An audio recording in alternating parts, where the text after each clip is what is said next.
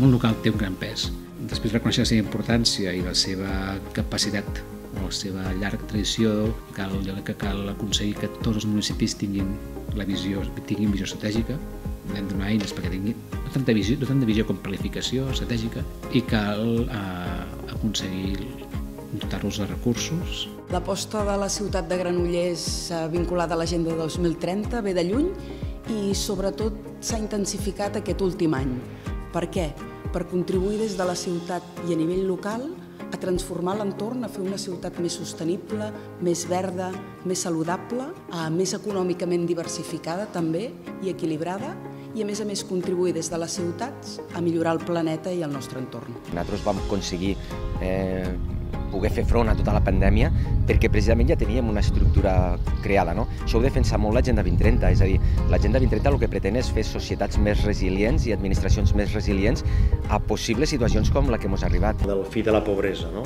Aquest, en aquest ODS nosaltres estem treballant per millorar els serveis socials ja no de la comarca, sinó del municipi. Som una població amb un 53% de migració, som una població amb 43 nacionalitats i, per tant, nosaltres aquí hem de vetllar perquè aquesta gent, aquestes persones, les famílies més vulnerables, puguin tenir aquesta atenció de serveis socials i, si més no, puguem estar allà presents. Hem de fer un cicle de l'aigua que sigui sostenible.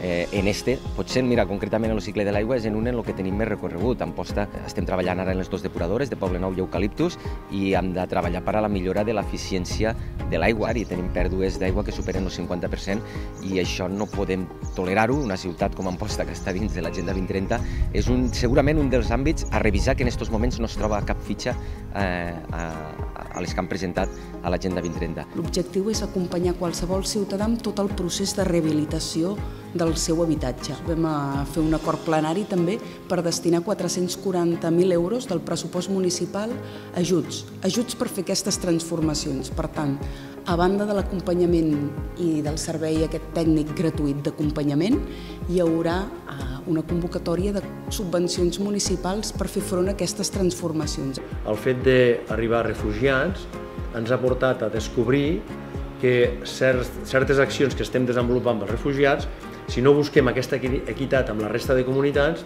al final se'ns converteix en una arma, en una arma de doble fil. No? Sigui, per un costat estic ajudant, però per l'altre estic potser mm, traient drets bàsics a altres comunitats o no estan atent a aquests drets bàsics que tenen altres comunitats. No?